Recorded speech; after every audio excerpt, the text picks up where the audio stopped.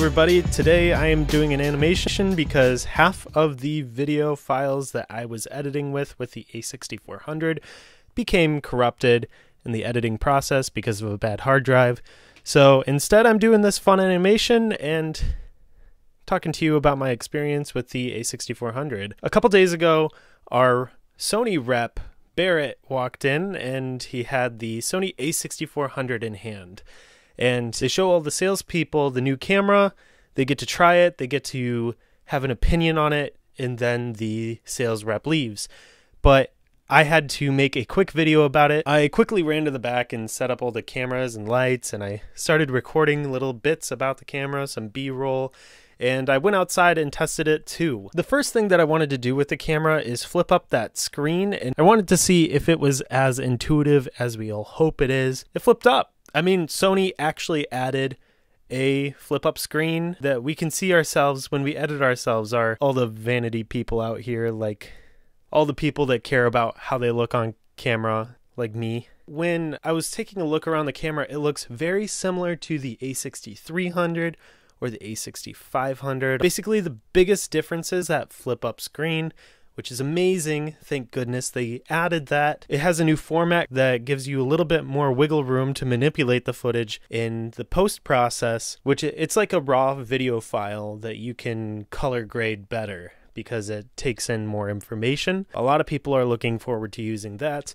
And it also has the Sony A9 processor. It's going to be wicked fast. With my use with it, I, I didn't really notice much wait time or pending time or it didn't really load at all. It just was very fast. I ran around to the back of the Norman camera and tried to get a couple of audio tests. Part of the thing that I wanted to test out is this, and I also wanted to test out the tracking mode. I know that the, the tracking was a big part about why the A6400 was a big thing, but I, I want to test that out myself. I want to get outside for a couple moments at least, maybe run around, and just try to lose it and if I can lose it, then maybe the tracking isn't as good as everybody thought it was. I'm gonna tap on myself, and then I'm gonna head backwards. What I just hope is that I'm gonna stay focused while everything else is.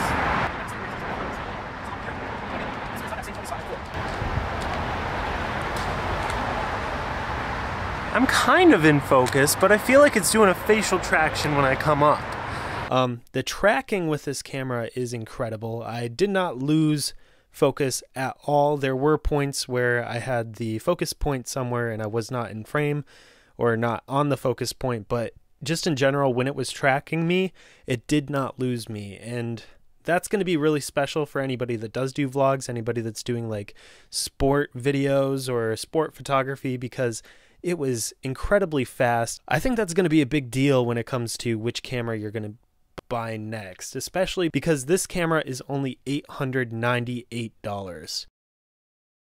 That's crazy. Finding another camera within this price range with 4K video, an APS-C size sensor, a raw video format available, a flip up screen, and just all the capabilities that the A6000 series has available, I there's nothing else that I can think of. Um, everything else just kind of does not compete with what this can do. This camera is just really exciting. I didn't get too much time to actually play with it, and I wish we can get one in soon enough so then I can make a full review on this camera and actually get to use it for a couple of photos and a couple of videos that I'll make.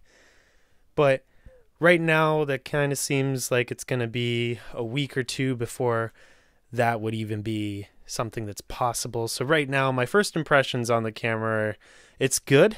Um, it's excellent. It does what they say it does, and it does it extremely well. Until I can actually make a review on this camera, right now, the A6400, if you're interested in buying it, is definitely a deal on the market, and it's definitely worth its price. So, I guess that's just how I'm going to leave this video. I don't really have too much more to say yeah, that's about all, guys. Um, if you haven't joined the Norman Camera family yet, just hit that subscribe button and and look at that, you're here. Uh, that's awesome. Anyways, have a good day, and I will see you in the next video. Oh, and let me know if you want to see more animations because this was just kind of a one-time thing due to the video corruption, but if you actually liked this video, um, let me know. I might, I might make another. Thanks. Bye.